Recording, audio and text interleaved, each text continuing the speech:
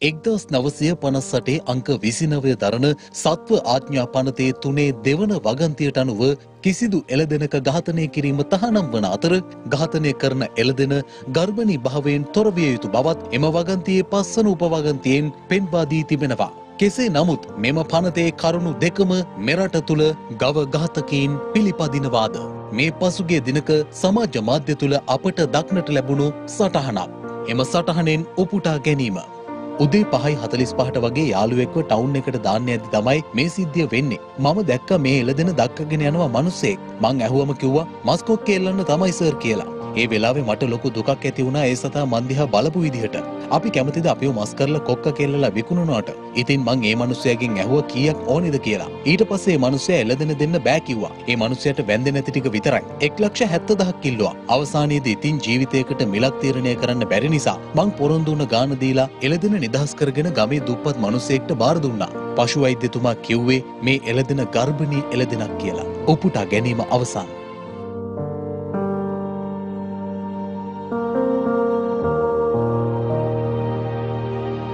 ගවඝාතනය පිළිබඳව මේ දවස්වල කතිකාවක් යනවා. විවිධ මත පලවෙනවා. පෞද්ගලිකව ඒ ගවඝාතනය නතර කිරීමට වැඩපිළිවෙලක් යෙදීම නැතිනම් පාර්ලිමේන්තුවේ පනතක් සම්මත කර ගැනීම පිළිබඳව එයට පූර්ණ මගේ අනුමැතිය වගේම සතුට ප්‍රකාශ කරනවා එය එසේ විය යුතුයි. හේතුව කාදින නිමිපාණන්ගේ මතයට අනුව මත් කියනවා මේක බෞද්ධ රටක්. ඒ බෞද්ධ සංස්කෘතිය තුළ ඒවාගේම හින්දු සංස්කෘතිය තුළ ගවයාට හිමිවන්නේ සුවිශේෂ ස්ථානයක්. එනිසා ගව ඝාතනය එන් වැලකීම පිළිබඳව ඉදිරියේදී කටයුතු කිරීම පිළිබඳව මා සතුට ප්‍රකාශ කරනවා. ඒ අතරම විකල්පයකුත් තිබිය යුතුයි යන මතයක් තියෙනවා. ඒකටත් වැඩ පිළිවෙලක් යෙදුවනම් හොඳයි කියන එකයි මගේ අදහස. එනිසා සමස්තයක් වස්සේ ගත්තාම මේ අපේ සංස්කෘතියට නොගැලපෙන දේවල් අපි නොකර ඉටීමට වැඩ කටයුතු කළ යුතුව තිබෙනවා. ඒ වගේම විශේෂාකාරයෙන් සියත නාලිකාවටත් මගේ අවංක ස්තුතිය පුද කරනවා. මේ ජනතා ප්‍රශ්න පිළිබඳව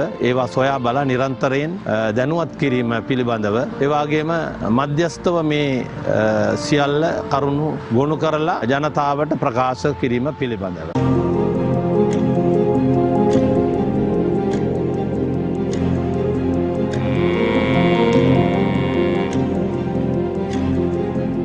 දෙනපතා අලුත් වීඩියෝ සහ ප්‍රවෘති නැරමීමට ඉහත බටන එක කලික් කර සියත TV සබස්ක්‍රයිබ් කරන්න.